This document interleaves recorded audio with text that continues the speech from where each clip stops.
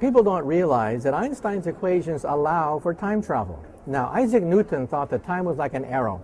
Once you fired it, it never deviated. One second on Earth was one second on Mars, was one second on Jupiter.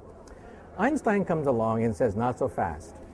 Time is a river, this old man river that meanders and slows down and speeds up on its way through the universe. So that one second on Earth is not one second on Mars, is not one second on Jupiter. The new wrinkle in all this is we now believe that the river of time may have whirlpools, may fork into two separate rivers, in which case time travel may be possible. The simplest way to build a time machine is to drill a hole in space, concentrate enough energy at a single point so that a gateway opens up to a distant point, perhaps in another universe. Now, in principle, this is a solution of Einstein's equations.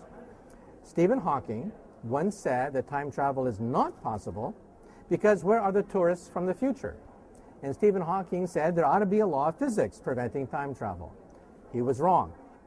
Stephen Hawking has now admitted that time travel is possible, though very expensive, very impractical for us earthlings.